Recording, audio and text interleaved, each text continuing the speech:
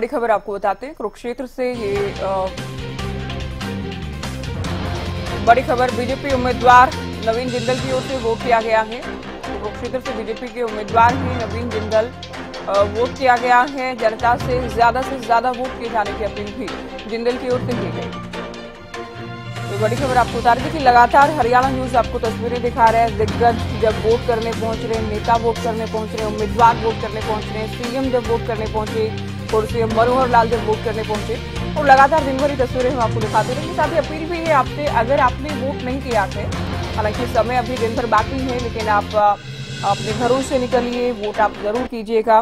क्योंकि अब तक का जो आंकड़ा है पाँच से छह लोकसभा में ठीक ठाक वोट नौ बजे के हिसाब से हुआ। है लेकिन अम्बाला की आप बात करें और साथ ही फरीदाबाद की आप बात करते हैं हिसार की आप बात करते हैं गुरुग्राम की आप बात करते हैं तो यहाँ वोटिंग का जो आंकड़ा है तुलनात्मक रूप से कम गए ये तस्वीरें हम आपको दिखा रहे हैं नवीन जिंदल अपनी पत्नी के साथ वोट करने पहुँचे।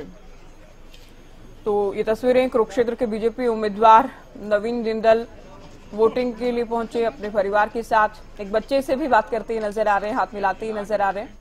ये भी आप देख रहे हैं तस्वीरों में।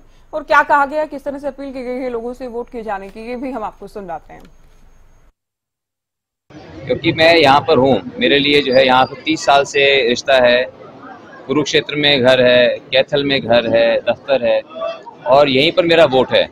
और बाकी जो है, बाकी बाहरी जो लोग आए हैं, और उनका ना तो यहाँ पर वोट है, और ना ही जो है उनका और कुछ लोगों से भी कोई लेना देना है। तो यहाँ के जो लोग हैं वो मेरे परिवार का के सदस्य हैं और मैं यहाँ के लोगों के का मैं परिवार का सदस्य हूँ।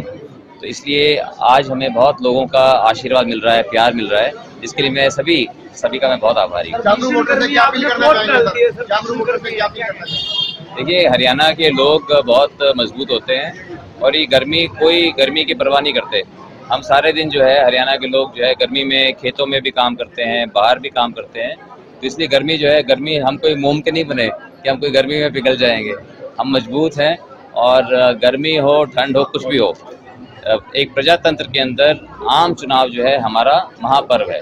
और इस महापर्व के ऊपर हर व्यक्ति का ये फ़र्ज़ बन जाता है कि वो ज़्यादा से ज़्यादा जा करके अपने मतदान के अधिकार का उपयोग करे और सोच समझकर मतदान उस व्यक्ति को दे, उस उम्मीदवार को दे, उस पार्टी को दे जिसके जिसके हाथों में हमारे बच्चों का भविष्य उज्जवल हो।